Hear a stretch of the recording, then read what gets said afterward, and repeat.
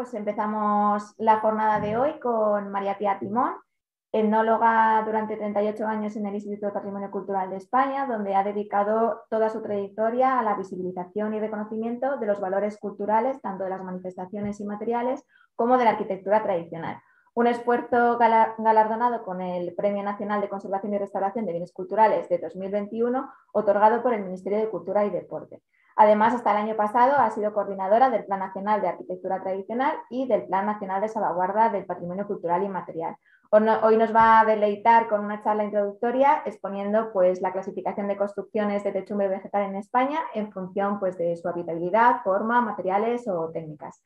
Muchas gracias María Pía por participar en este seminario que ideamos juntas y que por fin podemos disfrutar. Cuando quieras. Bueno, pues buenos días. Eh, y bueno, por supuesto, también doy las gracias al Instituto por, seguir desarrollando este tipo de, cursos, eh, que ya lo ha explicado muy bien Elena, no hace falta que entre yo en ellos, ¿no? la trayectoria un poco que, se viene haciendo desde hace unos años y especialmente doy también las gracias a Victoria, como siempre, y a todo el servicio técnico que hace posible esto y muy especialmente a Elena Romayor, ¿no? Que es la encargada y, creo que una luchadora nata y que yo creo que ha cogido mi testigo incluso con más fuerza que el que podía tener yo. O sea, nada, muchas gracias, Elena. Bueno, pues yo voy a hablar sobre la clasificación de las construcciones de techumbre vegetal en España, eh, los distintos elementos que pueden, que pueden servir para hacer una clasificación y de los que tenemos que partir. Esta imagen que veis aquí en la pantalla, en la primera imagen, es una imagen que, realizamos en el año 75, lo digo porque, claro, es en blanco y negro, en el año 75 justo cuando mm, muere Franco y a los alumnos de la universidad nos dan unas vacaciones larguísimas y tuvimos yo tuve la oportunidad en, en, ese momento durante aproximadamente unos 20 días subir a la Sierra de Gredos y documentar cómo vivían los modos de vida, los sistemas tradicionales de este tipo de, de comunidades pastoriles en función de la, de la cabra que existía en el sistema central, en este caso de la provincia de Ávila y de Cáceres. Eh, el estado de la cuestión, porque claro, yo voy a hablar de la clasificación, eh, pues realmente tenemos que decir que en España no, ha existido, no han existido estudios exhaustivos sobre este tipo de construcciones a nivel nacional. Me refiero pues, pues para hacer, poder hacer una clasificación a nivel nacional de los tipos de construcciones con techumbre vegetal. Mm, eh, lógicamente, quizá habría que haberlo hecho, mm, pues eh, seguramente durante los años 60, 70, donde había todavía muchísimas construcciones, porque por ejemplo estas construcciones de techumbre vegetal que menciono del sistema central de los cabreros de Gredos, prácticamente han desaparecido. ¿no? Queda alguna, algún reducto que han mantenido, pero ya no forman parte, digamos, que con los transportes y con los modos de vida que han cambiado, les permiten desplazarse a los pueblos o a casas intermedias y no tener que estar viviendo en, esas cabañas, aunque estén al lado, pero con otros sistemas ya y con otros, con otros medios. Entonces, quizá es una pena que en ese momento no se valorara, porque en esas épocas no se valoraba este tipo de construcción, de tal manera que nunca hubo un estudio global, sistemático, que hiciera una clasificación de los tipos de construcciones. ¿Cómo se hacían estos estudios? Pues eh, curiosamente sí se hicieron mucho en la zona noroeste de la, península, es decir, todo lo relativo a Galicia, parte de Portugal, incluso Asturias, con trabajos monográficos, entre los que citamos pues, Ángel del Castillo, Luis Crespi, Díaz Jorge, el propio Krieger, García y Bellido, Vega de Oliveira para la zona portuguesa, es parte también de la, gallega, pero mm, verdaderamente tenemos que decir que tenían unos objetivos muy distintos a los que ahora, por ejemplo, en, la introducción de este curso ha planteado tanto Elena como, bueno, como nuestro director general Isaac, eh, Sastre de Diego, nuestra directora eh, eh, Marta, ¿no? Es decir, que los conceptos de sostenibilidad, de cambio climático, lógicamente, de España despoblada, etcétera, estos objetivos tan importantes por los que ahora, con los que ahora nos movemos en el marco de la Agenda 2030, pues curiosamente en ese momento, eh, fijaos qué curioso, porque García Bellido, el estudio que hace sobre esas construcciones de techumbre vegetal es en función de la planta redonda, porque en esos años, de los años 60, digamos que lo que se trataba, el objetivo primordial era demostrar, quería demostrar que las viviendas de construcción de, planta circular pues tenían una evolución y su sustrato más anterior eran los celtas, es decir, que eran unos objetivos históricos nacionalistas, regionalistas, muy totalmente distintos a los que ahora podamos tener. Y en general, ya os digo que se hizo muchísimo de toda esa zona y haciendo mucho hincapié también en, la importancia de la planta, que para nosotros ahora ni la tienen ni creemos que extrapolar eh, una vinculación histórica desde la prehistoria hasta la actualidad no tiene ninguna, vamos, ningún sentido, ¿no? Y no forma parte de nuestros criterios de estudio, es decir, que no, no sería para nosotros lógico. Pero bueno, con ese motivo, pues nos dio una visión de todas las construcciones de planta circular con techumbre vegetal que existían en el noroeste español. Si contamos, en la actualidad lo podemos decir, con magníficos trabajos en áreas muy concretas, con criterios totalmente diferentes. Me refiero a trabajos antiguos, pero no tan antiguos, ya con una metodología moderna, etcétera, como por ejemplo el trabajo realizado de los teitos en Asturias por Armando Graña y Joaco López, que se publicó en el año 2017 perdón, 2007. En cuanto a la clasificación tipológica de las construcciones de techumbre vegetal en España, yo creo que los primeros elementos a tener en consideración, la primera clasificación que debemos decir es esta arquitectura, esta construcción es habitacional, es decir, es donde viven, ¿no? Se hace para vivir, como puede ser la barraca, bueno, ya, ya iremos viendo, o es una arquitectura, una construcción para, eh, para el trabajo, es decir, ¿no? Un poco basándome en la clasificación dentro del Plan Nacional de, de Arquitectura Tradicional, lo que decimos construcciones e instalaciones de trabajo, ¿no? Pues aquí tenemos algunas, ¿no? El cabazo cabeceiros, ¿no? para secar, ya eh, poquísimos elementos, cada vez menos, los hórreos, las enramadas para ganado, en este caso una zaurda, es decir, estas formarían parte de lo que es esas construcciones de trabajo, hay miles, ¿no? Pero bueno, hemos puesto estas cuatro aquí. Sin embargo, esta que tenemos aquí a la izquierda corresponde a ese trabajo de campo que os comentaba de, la Sierra de Gredos. Ahí, estoy yo, en el año 75, estaba haciendo tercero de la facultad. Entonces, esta es una vivienda, es una choza vivienda. Esta es choza vivienda. Ya vamos a ir viendo las distintas tipologías. La siguiente mm, clasificación, elemento clasificatorio que tenemos que tener en cuenta es este tipo de unidades domésticas de producción, este tipo de, asentamientos, por llamarlo de alguna manera, de construcciones de techumbre vegetal, si son compactas, como en el caso este de Somiedo, en la zona de Asturias, compactas se refiere a que una va unida a otra, no tiene por qué ser todas viviendas, pueden ser las de los animales, lógicamente como aquí es, las de los graneros, eh, la vivienda, es decir, compactas unas a otras, mientras que existen otros complejos eh, otros complejos, como es el siguiente caso que vemos aquí en imágenes, unidades domésticas de producción, que yo he llamado fragmentadas o atomizadas, es decir, que forman en un, área determinada, en un territorio determinado, pero que cada uno de los elementos, tanto la vivienda como el granero, como el almacén, como la construcción para los animales, etcétera, es independiente, es decir, que por eso la llamamos fragmentadas o atomizadas que yo creo que son dos elementos muy importantes a tener en consideración también a la hora de hacer un estudio, ¿no?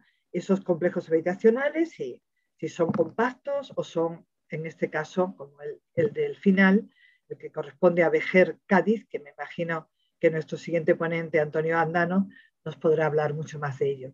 Estas unidades domésticas de producción fragmentada, vamos a ir viendo como ejemplo, hemos tomado un ejemplo, uno pastoril, en este caso vinculado con las cabras, que es el de los cabreros de la Sierra de Gredo, y otro agrícola, que es el de Vejer, el que veíamos anteriormente, por tomar una referencia distinta de pastoreo y agricultura, y una de la zona central, como es la zona de Gredos, y otro en el sur, que es Vejer.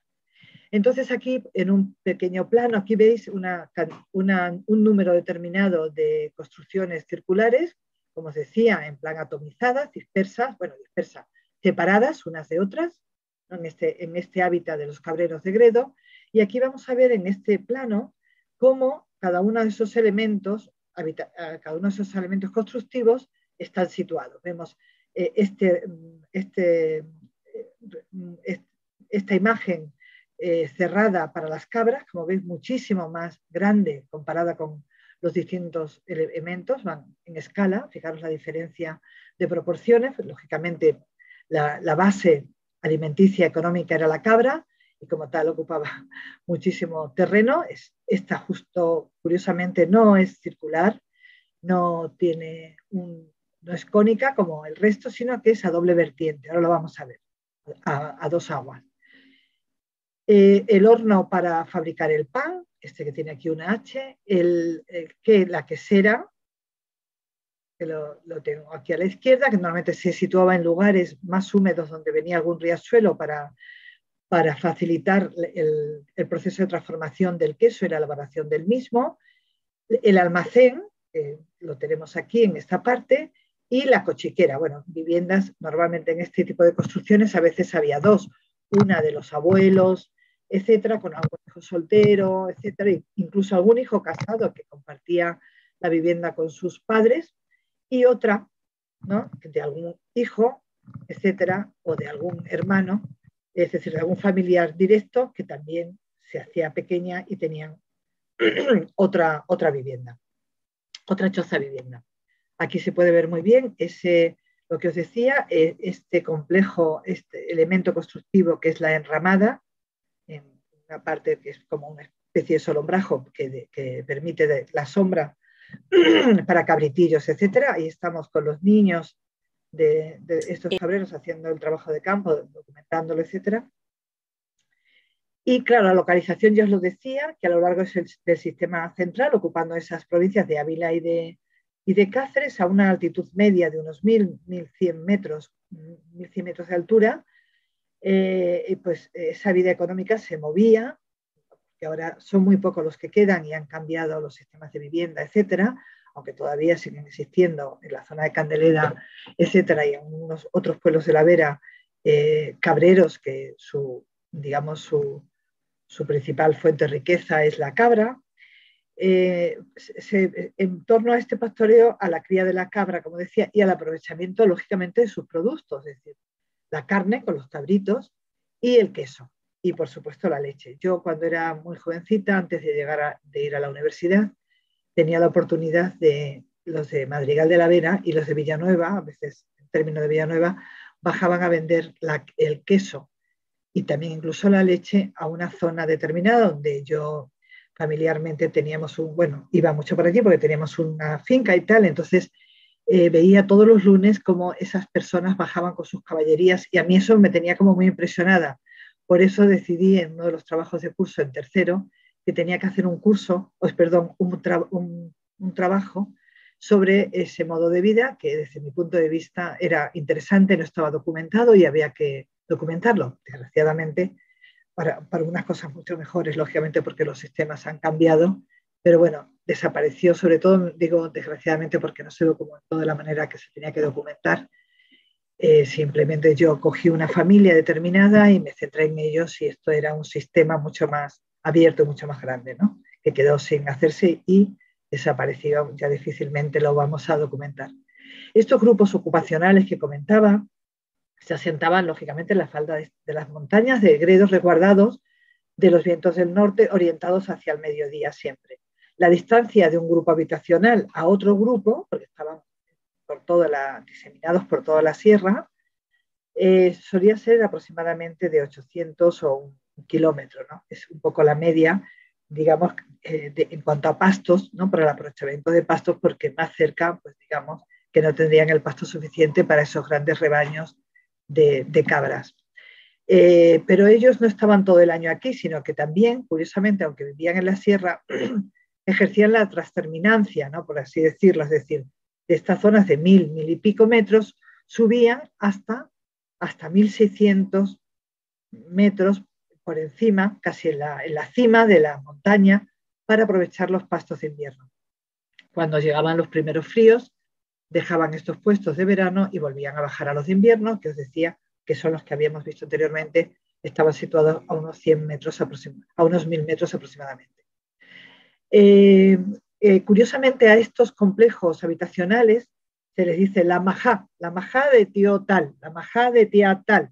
¿Entendéis? Siempre se le denomina con el nombre de majá, que en el fondo es el término con el que se denomina al recinto para la, enramada, es decir, que la enramada o el, recinto, la construcción e instalación, que, es donde duermen las cabras y se las suele ordeñar, o los cabritillos, etcétera, todo, todas las técnicas relacionadas con el, amamantar y el reproducir el ganado, se hace lógicamente la enramada y allí se le llama la majá, aunque a todos sea el nombre de majá, pero también recibe ese nombre.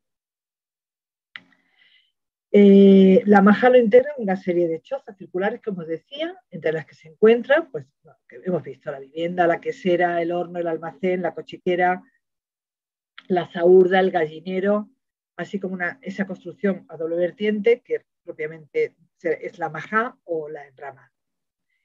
Eh, los elementos de la, ya lo hemos visto, todos los, cada uno de ellos los volvemos a, ver aquí en esta imagen.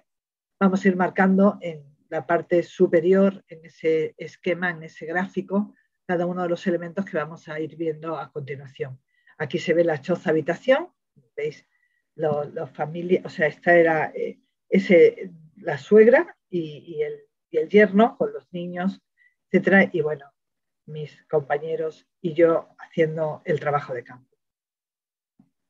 Eh, veis que en cuanto desde el punto de vista constructivo, es una, estas, estas chozas son de planta circular de unos 5 metros de diámetro y el muro tiene aproximadamente un grosor de 70, incluso 80 centímetros, con una altura media de unos 50. ¿no? La parte más alta del cono, lógicamente, mucho más. En este muro se va a abrir la puerta de entrada, que es de dimensiones muy reducidas, de unos 60 a 70 centímetros por 1,10 de alto, confeccionada también aquí con tablas de madera normalmente de roble o de castaño. Y la techumbre, como veis, se compone por troncos de roble de unos 4 metros de largo, por, por, bueno, por 15 o 18 centímetros de diámetro, confluyen en ese punto central, en el vértice del cono, y la base de los mismos va a descansar directamente sobre ese muro ancho de piedra que os comentaba, eh, que aproximadamente tiene un grosor de 70 a 80 centímetros. En el vértice del cono, pues eh, a modo de horca, se confluyen todos los troncos eh, que van a recibir luego el piorno que se coloca por encima. ¿Veis la distribución? Que es muy sencilla dentro de la vivienda.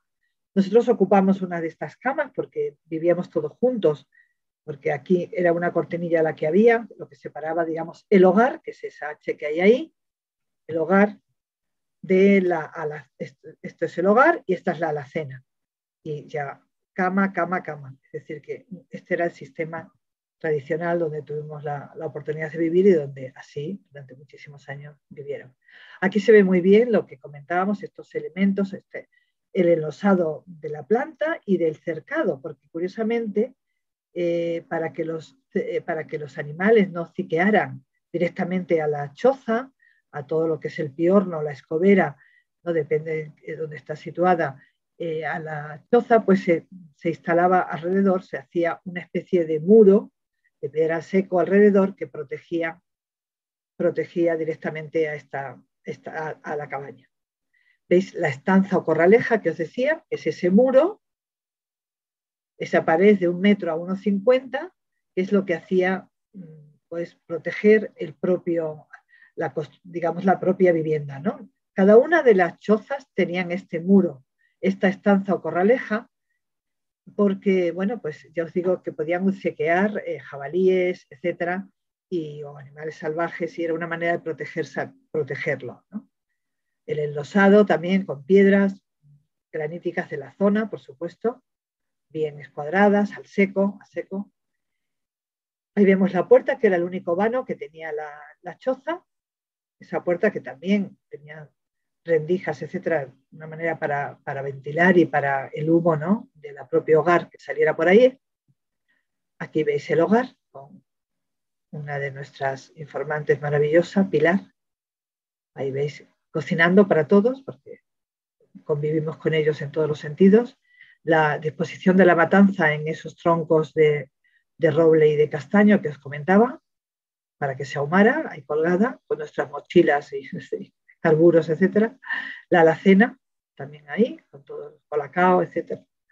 Bueno, eh, y también los, digamos, los, somieres, por llamarlo de alguna manera, la base, la base de las camas, ¿no? con esas tablas, sobre eso iban los colchones de lana ya en este momento, aunque nos comentaban que hasta hacía muy poco ellos los habían usado de, de las mazorcas de maíz, de las hojas de maíz.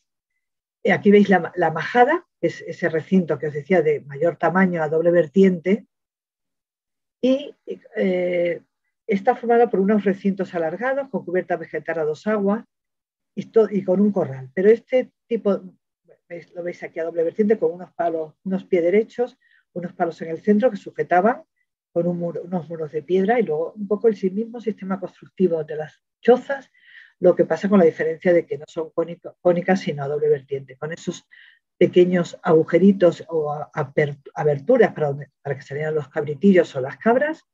¿Veis? Aquí se ve muy bien, perfectamente. Hay una serie de elementos de la, de la, de la, de la enramada o de la majá propiamente dicha, como es el, el berenjón. Tiene nombres muy distintos de cada uno de estos elementos. De, estos son para los cabritos recién nacidos, los cabritillos recién nacidos, eh, ese tipo de apartado a doble vertiente y también con un corralito pequeño, que no, se mezclaban con el resto, o sea, todo lo que os decía, todo el proceso de... Y bueno, junto a las cabras se criaban otros animales, aquí podemos ver el, gallinero, la zaurda y la quesera, como os comentaba, veis cerca de una zona donde donde venía un arroyito pequeño de agua, ¿no? fundamental para todo el proceso de transformación de, y elaboración del queso. Aquí lo vemos con los cinchos de, madera, el suero, bueno, todo el proceso, el horno. Tuvimos ocasión también de, de verlo y de ver cómo funcionaba, el almacén, donde tenían calabazas y todo tipo de alimentos. Y bueno, decir que estas fotografías fueron realizadas por por Santiago Valiente, Cánovas, y los dibujos por Santiago Broncano. Esto sería, eh, ya hemos visto, eh, un ejemplo de pastoreo de lo que os decía, de un de asentamiento atomizado, ¿no? Eh, y hemos visto pues, el ejemplo de los, pastor, de los cabreros de la Sierra de Gredos. Y ahora vamos a ver otro ejemplo que os decía que también de, producción fragmentada agrícola, chozos de castañuela de la laguna de la Janda en Cádiz. ¿no? ¿Veis? Se ve perfectamente eh, cada uno de estos elementos de la vivienda, el almacén, cada uno de estos elementos que hemos venido, ¿veis? Con estos realizados con otro sistema, con juncos, no tiene nada que ver, esto lo veremos después. Sus habitantes suelen ser agricultores que trabajan la tierra, bien como propietarios de esas tierras o como colonos. Eh, está realizada, muchas de ellas en su totalidad, algunas de ellas, ahora veremos que hay dos modelos, de materia, de materia vegetal. Eh, el armazón solía ser de acebuche, de pita, de eucalipto y caña. Y, en la parte exterior de junco o pasto de arroyo, ¿no? que lo llaman pasto de arroyo, que lo constituye ese pasto de arroyo también y la enea y principalmente la paja de castañuela, se llaman paja de castañuela. Eh, suelen ser de planta rectangular y tejado, como veis, a dos aguas, con una fuerte pendiente, precisamente para facilitar el agua. La cubierta se asienta sobre el palo cimero, que descansa en tres palos, peones, que están hincados en el suelo. Luego lo veremos eso en, un dibujo. Y el, tipo B es distinto al anterior, no es todo vegetal, sino de, de mampostería y cubierta vegetal, tiene también planta rectangular, tejado a dos aguas, con una fuerte pendiente, como veis aquí, y la cubierta es de juncos, pasto de arroyo, anea y principalmente paja de castañuela.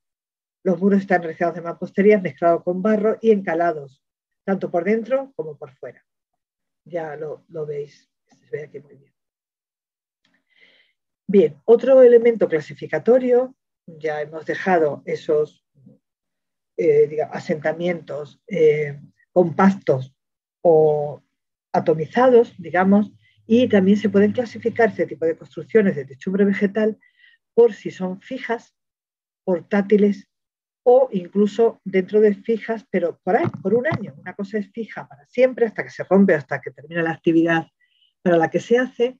Otra cosa es portátil y otra cosa es anual, ¿no? En el ciclo, es decir, cíclica, ¿no? Que tiene que ver con el ciclo productor del tipo que sea. Aquí vemos una, una, una de las cabañas, una de las chozas de la zona de, del norte de España.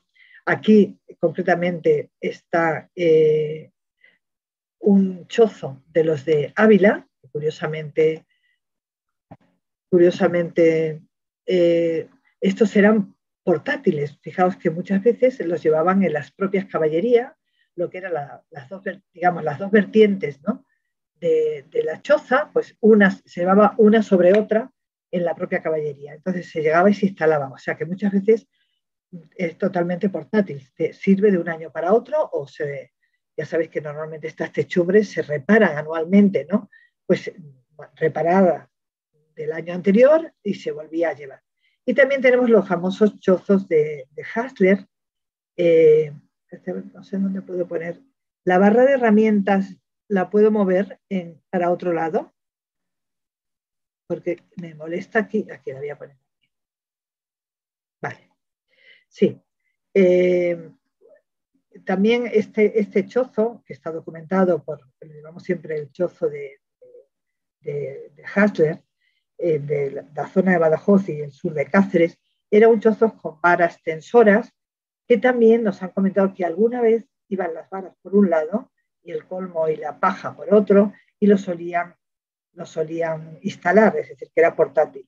Y muchas veces se hacía mayoría de las veces se hacía cuando llegaban al área de explotación, está vinculado con la transhumancia, igual que está el de, el de Ávila. ¿no? Con respecto al anterior, veis, se ve muy bien, que no recordaba que era Villar de Vilda, así en la zona de Asturias, para guardar teneros y dormir en la braña, ¿no? el para dormir el brañero. Es decir, que en este caso eran fijas porque lo tenían ahí para dormir si se necesitaba o, lo que fuera. ¿no? En cuanto a este, a este modelo de, a este elemento, a este elemento clasificatorio en cuanto a fijas, portátiles y anuales. No sé por qué no. Ahora.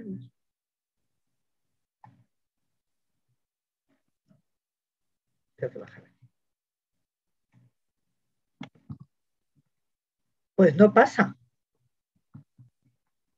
No sé por qué no me pasa. Y a mira a ver si con el teclado puedes. Sí, estoy dándolo en el teclado.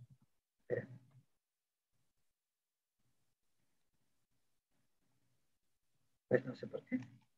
Ahora. No sé si era el anterior. Esperaros a Ah, bueno, sí.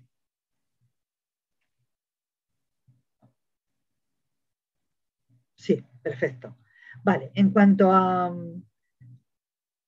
En función de los periodos de ocupación de las mismas, eh, también es otro elemento importantísimo, muy parecido al anterior, pero eh, lo que os decía, son periodos, ya periodos del tiempo, no permanentes, cíclicas o estacionales o ocasionales, en cuanto al periodo que están, no, que si es portátil, sino simplemente el periodo que, están instaladas.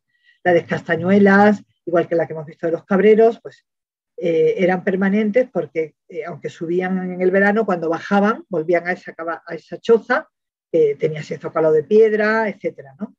Son permanentes. Pero, eh, eh, por ejemplo, la de Bardo, que fue un trabajo que, yo realicé, que realicé con una compañera mía, con Elisa Sánchez San, que está de alumna, está ahora mismo, bueno, inscrita en este curso, en este curso también, más que como alumna, yo creo que es una, bueno, una persona que sabe tanto o más de lo que yo estoy contando aquí. Pero bueno, hicimos este trabajo juntas las dos y documentamos los chozos de bardo de Extremadura, que eran chozos, aquí se puede ver en un dibujo, vinculados con la transhumancia y la transhumancia. Entonces, curiosamente, solo se reparaban y se hacían, porque desaparecían muchos de ellos, en el periodo de la transhumancia, es decir, que estaban todo el periodo de invierno, en este caso, que permanecían en las dehesas extremeñas, pues se hacía este tipo de chozo, no es de piedra, es todo de vegetal con este bardo que llamaban, que son esas, esos esas estacas de, de, varas para protegerle también con las hocicadas que comentábamos de los animales salvajes, etc. Y para darle más consistencia y mayor estructura a la propia, a la propia cabaña. Esto también solamente se realizaba para la temporada de la transhumancia, es decir, que era cíclica o estacional, un año y otro. ¿no? A veces alguna estructura se mantenía y era muy curioso porque cuando hicimos la documentación, estuvimos hablando con ellos, a mí me decía uno de ellos, fíjese usted, lo que sí nos llevamos es la puerta. Nos llevamos la puerta porque es difícil. No era de madera, se la llevaban en una caballería eh, y se iban con la puerta y al año siguiente lo volvían a traer, ¿no? Cuando lo, depende de dónde. normalmente lo instalaban en sitios, en los mismos sitios, pero no siempre ocupaban las mismas de esas. Es decir, que en función de esto se instalaba y se hacía el chozo. Por eso os decía que era estacional, ¿no? que, tenía que ver con... Y luego, eh, aquí tenemos también, bueno, payozas, como podéis ver, aquí está, ya os decía, del permanente, hemos puesto de ejemplo el de las, eh, las viviendas estas de castañuelas de Cádiz, las payozas, que podían ser incluso también ocasionales a veces, o permanentes. Los corros en Asturias, que tenían que ver mucho más con una cuestión totalmente ocasional. Y las famosas bordas de la zona del Pirineo, también de techumbre vegetal, que también muchas veces están vinculadas con la explotación de un determinado periodo. ¿no? Eran totalmente ocasionales. En cuanto a la forma de la planta, en cuanto a la forma de la planta, es otro elemento clasificatorio de gran interés, ¿no? que ya os decía antiguamente, la planta fue del todo, que si eran redondas, eran celtas, que si bueno, una cosa increíble. Bueno, nosotros creo que es un elemento más clasificatorio, no quiere decir, porque creo que cada uno de estos elementos clasificatorios que voy escribiendo, creo que tiene que ser todos juntos, ¿no? Elementos que tenemos que tener en consideración a la hora de documentar sistemáticamente una construcción de estas características ya seguiremos con, muchos más elementos clasificatorios y de interés, ¿no? Pues redondas, ovaladas, cuadradas. Aquí tenemos una tipología, como veis, de la casa pajiza, la casa pajiza de Tenerife, de, Pinolere, de las distintas zonas de, Canarias, la, barraca, que no la habíamos visto ahora. Aquí la mallata, aunque verdaderamente no tiene techumbre de, en este caso, de vegetal, aunque nos dijeron que también en algunos sitios puntuales lo cubrían, pero bueno, que lo habitual era lajas de pizarrosas de piedra y la de castañuelas de, esta es la de la zona de Ávila, con una, a veces una planta un tanto más, cerca de lo ovalado que, de lo, que, del, del, redondo. qué, mal pasa, ¿eh?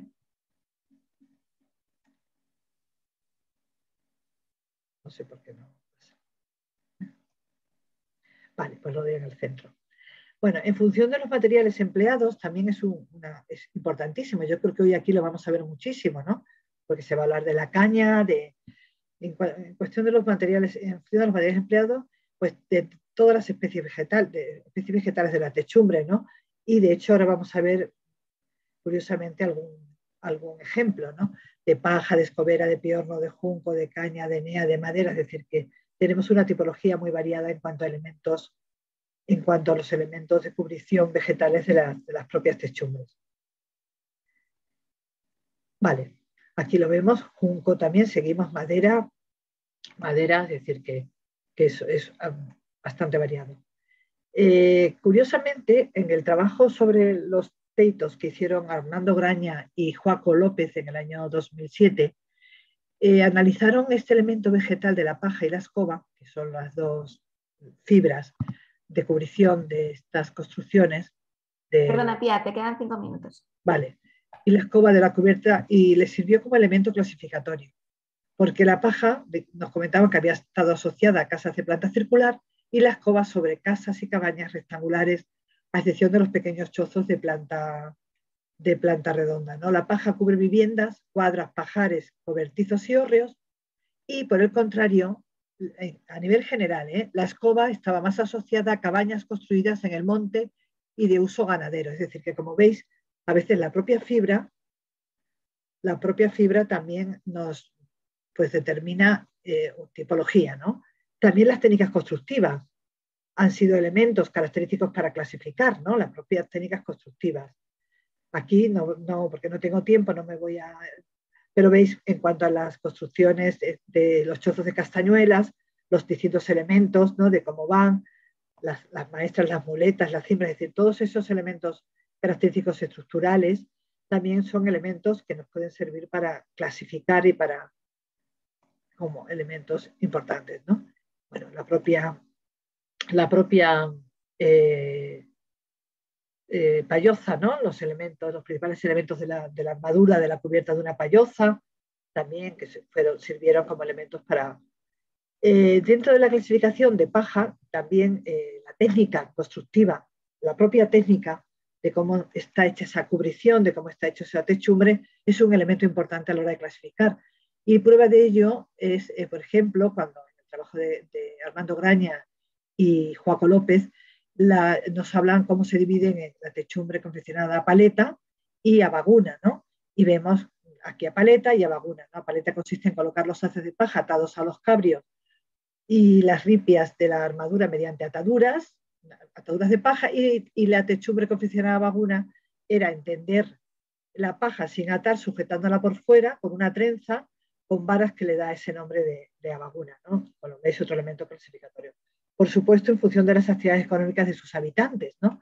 Lo estamos viendo todo el tiempo, pastores, agricultores, porqueros, cazadores, eh, segadores, eh, mineros, carboneros, caleros, molineros, es decir, un montón de actividades económicas que habría que hacer un estudio grande, ¿no? Sobre agricultores, la, etcétera. Bueno, en cuanto a en cuanto a la sí, aquí.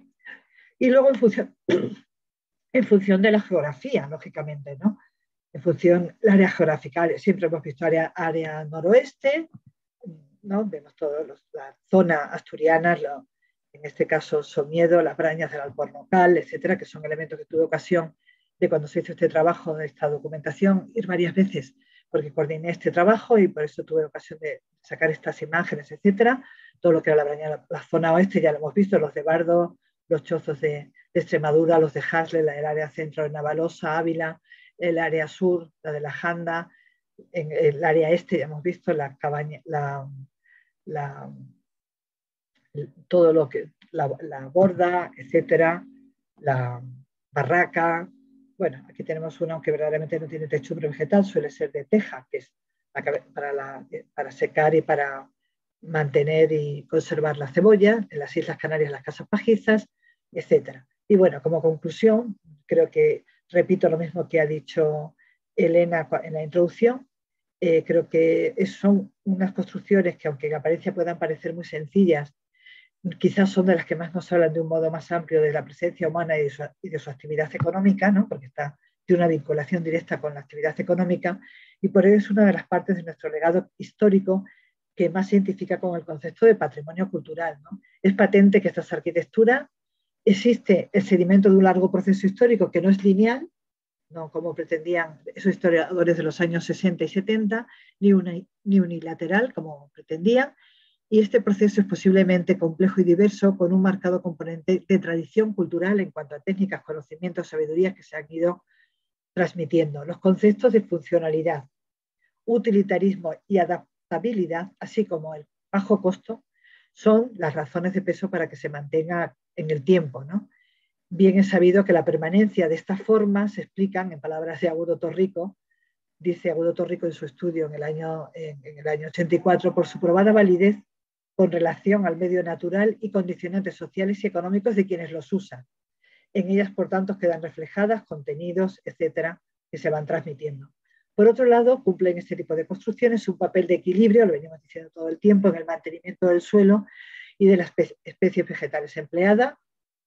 Nos acerca el estudio a un conocimiento mayor de las transformaciones sufridas en las estructuras socioeconómicas de España, como lo hemos podido ir viendo, y no tenemos que olvidar que ha sido un testimonio más de los sistemas de producción agropecuarios, así como de determinados modos de vida de ese ámbito rural. Y por otro lado, para terminar, la forma en que este tipo de hábitat social ha, ido decantando su respuesta al medio se refleja en una intensa imbricación que venimos comentando todo el tiempo aquí en el territorio, determinando un característico paisaje cultural sostenible, digno de que se tomen medidas de documentación y protección, tal y como establece ya, desde muy antiguo, el Convenio Europeo de Paisaje ratificado por España en el 2006. Y nada más, muchísimas gracias.